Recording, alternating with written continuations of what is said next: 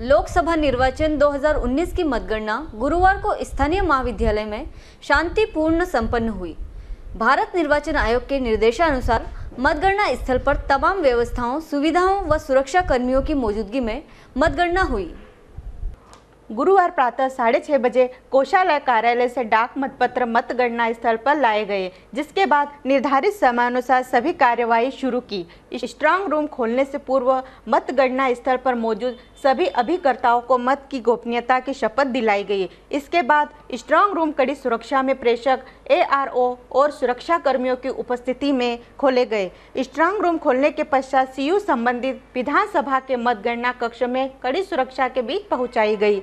इस दौरान कलेक्टर और रिटर्निंग अधिकारी श्री गोपाल चंद्र डाट, पुलिस अधीक्षक श्री सुनील पांडेय, सामान्य प्रेक्षक श्री सुधीर कुमार मतगणना स्थल पर चल रही प्रत्येक गतिविधियों पर नज़रें बनाए हुए थे।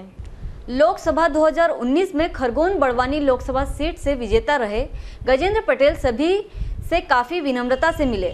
हर किसी के आगे विनम्रता से झुककर आभार व्यक्त करा और अपनी जीत का राजचीर प्रतिद्वंदी डॉक्टर मुजालदा का आशीर्वाद बताया। उन्होंने कहा कि पहले दिन से ही डॉक्टर मुजालदा का आशीर्वाद बना हुआ था।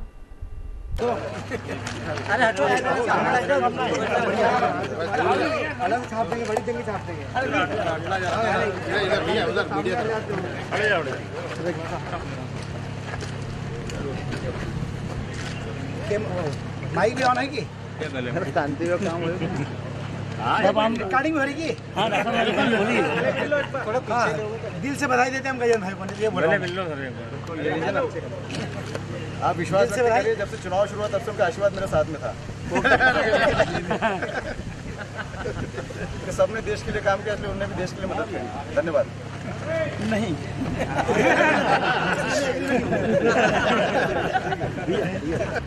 यह जीत वास्तव में देखा जाए तो भारतीय जनता पार्टी के कार्यकर्ताओं की जीत है। भारतीय जनता पार्टी की उस विचारधारा की जीत है, जिस विचारधारा के आधार पर देश के प्रधानमंत्री माननीय नरेंद्र मोदी जी काम कर रहे हैं और ये जीत भी पिछले पाँच सालों की चलने वाली भारतीय जनता पार्टी की नरेंद्र मोदी जी की सरकार के नेतृत्व में चलने वाली सरकार की भी जीत है। जिस प्रकार के विचार को लेकर नरेंद्र मोदी जी ने पाँच साल काम किया, जनता के मन में एक विश्वास पैदा हुआ कि कभी सरकारें बनती है चुनाव होने के बाद में तो जनता के लिए काम कर सकती है विश्वास पैदा किया नरेंद्र मोदी जी की सरकार में और ये साबित कर दिया। ये चुनाव पूरा का पूरा नरेंद्र मोदी जी के नेतृत्व में था उनकी सरकार के कामों को को लेकर था। इसलिए जनता के द्वारा चुनी गई सरकार है जनता के विश्वास पर खरी उतरने वाली सरकार है और जनता के सहयोग से बनने वाली सरकार है ये। आप सांसद बन गए आप सबसे पहली प्राथमिकता ज़िले के लिए क्या रहेगा ये सबको ध्यान में है कि मैं कार्यकर्ता के रूप में काम करता हूँ मैं सांसद भी हूँ तो एक जनता का सेवक बनकर काम करना चाह रहा हूँ।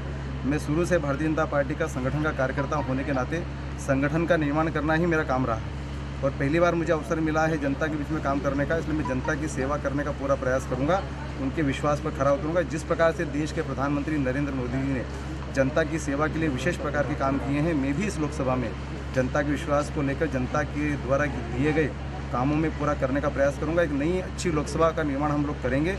उनतीस मध्य प्रदेश की लोकसभा में हम एक अच्छी लोकसभा बनाने के लिए हम सब लोग मिलकर काम करें, छोटे से लेकर बड़े तबके के समाज के हर वर्ग का विकास हो।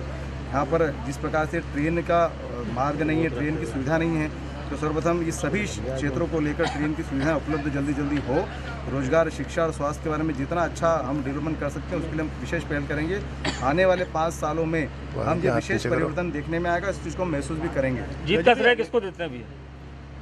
जीत का जीत का पूरा श्रेय भारतीय जनता पार्टी के एक एक कार्यकर्ताओं का जीत का श्रेय है एक मतदान पर काम करने वाले एक एक कार्यकर्ताओं की जीत है उस विचारधारा की जीत है जिस विचारधारा को लेकर देश के प्रधानमंत्री नरेंद्र मोदी जी काम कर रहे हैं जनता की सेवा कर रहे हैं और सवा सौ करोड़ की जनता का सेवा का जो संकल्प नरेंद्र मोदी जी ने लिया था ये उस विश्वास की जीत है। रजू भाई एक सवाल ये है कि मध्य प्रदेश में कांग्रेस की गवर्नमेंट है तो वो कहीं ना कहीं अवरोध बन सकती है उसको आप किस तरह से निपटेंगे? क्या स्ट्रेटेजी रहेगी आपकी? देखो मैं तो जनता का कार्यकर्ता बनकर काम करने वाला हूँ।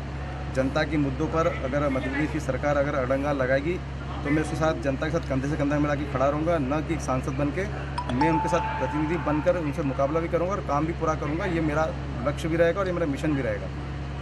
और मैं नहीं मानता कि सरकार मध्य प्रदेश में अगर कांग्रेस की है तो जनता के कामों को लेकर अवरुद्ध पैदा करती है और जनता देखेगी।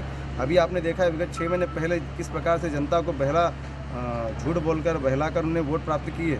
और जब उनको जनता को विश्वास हो गया कि कांग्रेस हमेशा से झूठ बोल रही है, और मैं तो कहता हूँ अपनी हर बात में कि उन्नीस सौ सैंतालीस से लेकर इस सत्तर सालों में कांग्रेस ने झूठी बोला है।